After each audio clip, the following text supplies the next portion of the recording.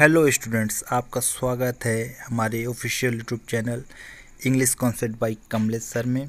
यहाँ पे आज हम कोई नया टॉपिक नहीं उठाएँगे। इसके पहले वाले टॉपिक में काफ़ी सारे आपके कमेंट मिल रहे थे। सर, आवाज़ काफ़ी नहीं आ रही है। मैंने इस टॉपिक पे एल टी ग्रेड के रिज़ल्ट पे और इसके क्या प्रभाव पड़ेगा आने वाले रिज़ल्ट पे इस पर एक वीडियो बना चुका हूँ, जिस पे मैंने सारी डिटेल सारा आकरण सारा एनालिसिस रिपोर्ट वहाँ पर बताई है। जिसमें सारे हमारे बहुत से बच्चे स्टूडेंट कॉमेंट कर रहे थे। सर, उस वीडियो में आवाज़ क्लियर नहीं है या मेरे माइक्रोफोन की ख़राबी की वजह से आवाज़ ना उसमें रिकॉर्ड हो पाई है।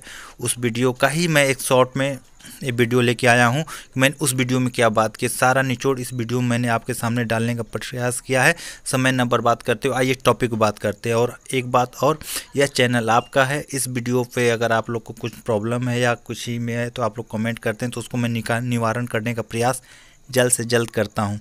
और जो उस वीडियो में मैंने बता दिया कि जो एलटी ग्रेड के दो सब्जेक्ट के म्यूज़िक और कृषि के जो रिज़ल्ट आ चुके हैं, इस रिज़ल्ट का आने वाले टॉपिकों पे काफ़ी प्रभाव पड़ने वाला है। जैसा कि अभी हाल में ही टी जी टी का एग्ज़ाम संपन्न हुआ आठ और नौ मार्च को, इसमें भी संपन्न होगा।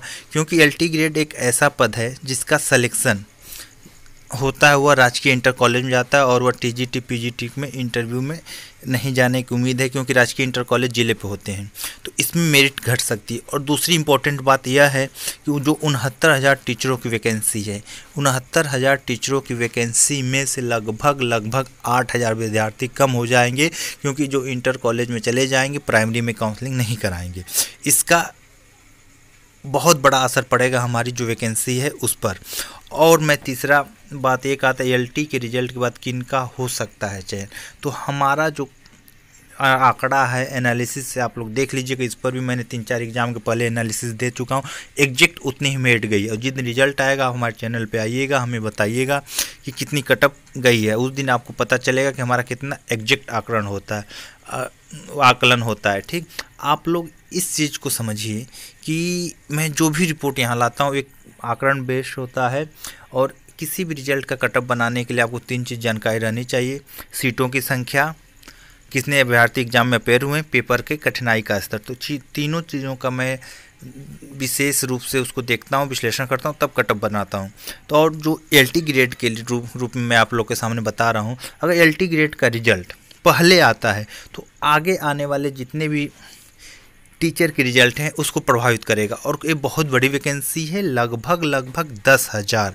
तो दस हज़ार तो मान के चलिए कि विद्यार्थी कम ही हो जाएँगे, चाहे उनहत्तर हज़ार हो, चाहे टीजीटी का एग्ज़ाम हो। तो जो भी विद्यार्थी दो नंबरों से छटता होगा, उसका चयन इस भर्ती के माध्यम से दूसरी भर्ती में हो जाएगा। मान के चलिए आप लोग। अगर आपने टीजीटी में इंटरव्यू देते हैं तो कहीं ना कहीं आप एक पद की दावेदारी के लिए अपना पक्का दावा पेश करते हैं। क्योंकि एलटी में चयन के बाद अगर किसी कारणवश आपका चयन नहीं हो पाता है तो निराशा मत होइए हो फुल रहिए, आपका चयन ज़रूर से ज़रूर किसी न किसी एग्ज़ाम में ज़रूर उनहत्तर हज़ार में या टी जी टी में हो जाएगा। ये बाकी न्यूज़ थी और उस वीडियो पे हमें कमेंट मिले थे। आवाज़ की वजह से अगर आप लोग को ये वीडियो अच्छी लगी हो तो हमारे चैनल से जुड़े रहे। अगर किसी टॉपिक वीडियो चाहिए, मैं जल्द से जल्द अपडेट आपके सामने लाऊँगा और हमारा और आपका दोनों लोग का चैनल है। हमारे चैनल से जुड़ने के लिए बहुत बहुत धन्यवाद। और अगर आप हमारे चैनल पर नए हैं तो बेल वाले हिट को हिट करें और सब्सक्राइब करें, जिससे कोई भी वीडियो की अपडेट आपको लेटेस्ट मिल जाए, मिल जाएगी। मिलते हैं नेक्स्ट वीडियो में।